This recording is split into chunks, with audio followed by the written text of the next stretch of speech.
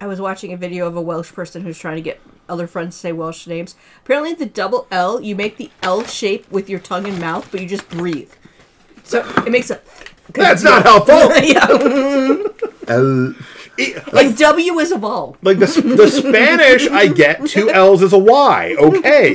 What are the rules of well? It appears to be like French. There are no rules. It's just No, no, it's like French. Everything is pronounced once you know what all the rules are. it's just okay. W is also, a, oddly, apparently, No, no, if you speak no. Polish, if French. you're fluent Polish, mm-hmm. you're really good at Welsh. no. okay. Okay. French. Good to know because I have no idea how to pronounce the L with a line across it. Here, mm-hmm. French is that everything is pronounced until you know what the rules are.